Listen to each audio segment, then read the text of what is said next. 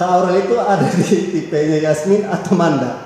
Ada di toko Yasmin atau Manda? Lebih Kalau sepenglihatan kamu? Lebih ke Yasmin sih dia. Lebih ke Yasmin. Tapi kalau tadi disuruh memilih Manda karena kocak. Ya kan berteman kan? Iya mas. Iya, karena kocak. Berarti Kak Aurel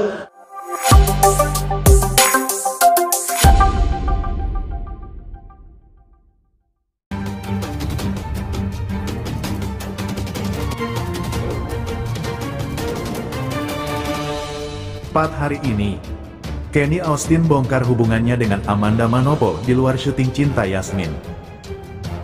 Belum ada 10 episode persembahan, sinetron Cinta Yasmin sukses mendapatkan rating yang cukup tinggi.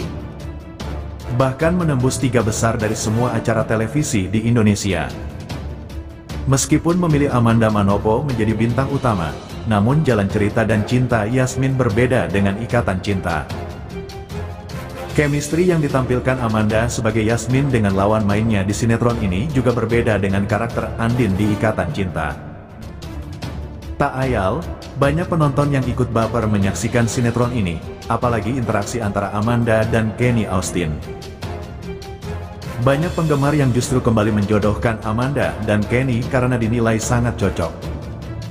Masih muda, cantik, ganteng dan juga punya banyak karya positif. Namun, hubungan keduanya hanya sebatas profesional. Dari informasi yang beredar Kenny sudah memiliki kekasih yang sudah lama dipacarinya. Apalagi baru-baru ini viral video antara Amanda dan Kenny. Dalam video yang diunggah akun TikTok hello.kitty garis bawah pink 15, terlihat Amanda bersalaman dengan Kenny tanpa memandang Samuel yang ada di sebelahnya. Amanda juga terlihat asyik mengobrol dengan Kenny setelah salaman tersebut. Sontak saja hal ini mendapatkan sejumlah komentar dari netizen. Namun, sampai saat ini diketahui hubungan Amanda dengan Kenny hanyalah sebatas teman saja. Kenny Austin sekarang sedang menjadi idola baru kaum hawa. Berkat aktingnya di sinetron Cinta Yasmin yang dipasangkan dengan Amanda Manopo. Keduanya lalu dijodoh-jodohkan oleh para penggemar. Ketika beradu akting, tak jarang banyak penggemar yang kelewat baper kepada mereka. Banyak yang mendoakan agar Amanda Manopo berjodoh dengan Kenny Austin. Sama persis dengan yang terjadi antara Amanda Manopo dengan Arya Saloka di Ikatan Cinta. Ganteng Kenny. Cocok kalau sama Amanda Manopo, semoga saja kalian berjodoh, tulis seorang netizen. Namun, komentar itu justru direspon nyinyir oleh netizen lainnya. Kebanyakan dari mereka cukup mensupport saja dan tak perlu ada jodoh-jodohan. Yuk simak lagi berita terbaru yang kedua.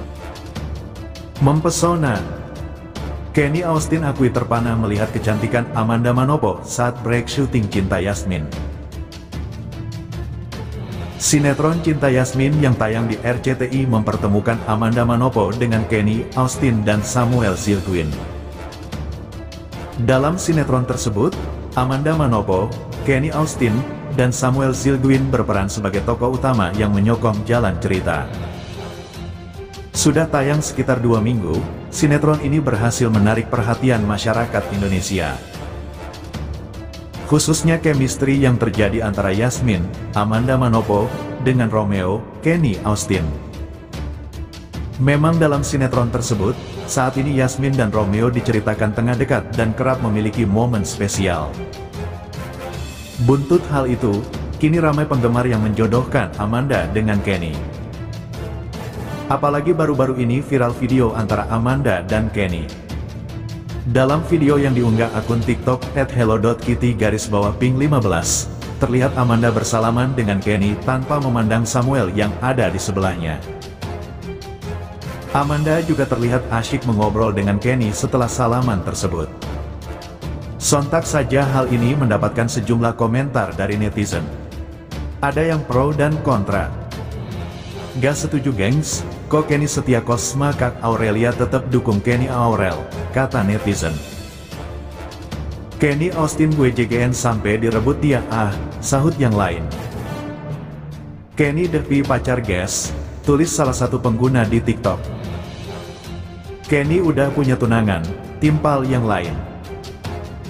Cocok juga di dunia nyata. Mereka single satu keyakinan lagi, kata seseorang.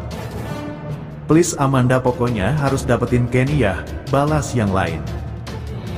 Namun, sampai saat ini diketahui hubungan Amanda dengan Kenny hanyalah sebatas teman saja. Akankah cerita Amanda dan Arya Saloka juga terulang kepada Amanda dan Kenny?